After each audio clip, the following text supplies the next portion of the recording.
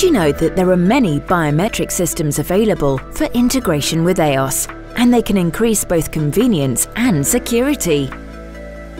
ID badges can be impractical and inconvenient, and may not provide the security level you need in some situations. Which is why AEOS supports integrations with several biometric management systems.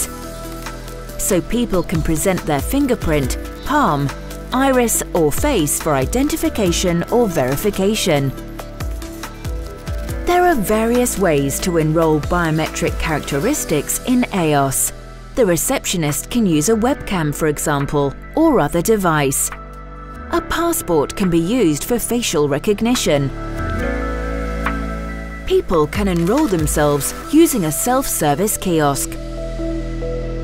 Or an invite can be sent to their mobile and they can enroll using a selfie. After enrolment, personal details and access rights are stored in AEOS and biometric data is stored in the Biometric Management System or Access Card.